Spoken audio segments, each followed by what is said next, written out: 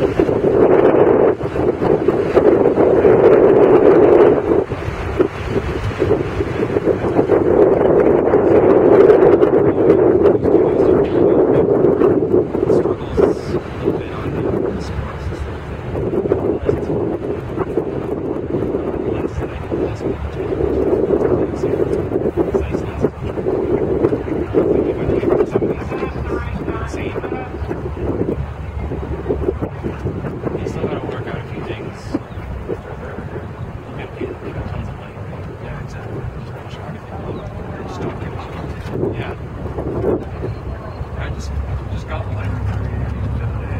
Yeah. I haven't really had a chance to work this. It's cool.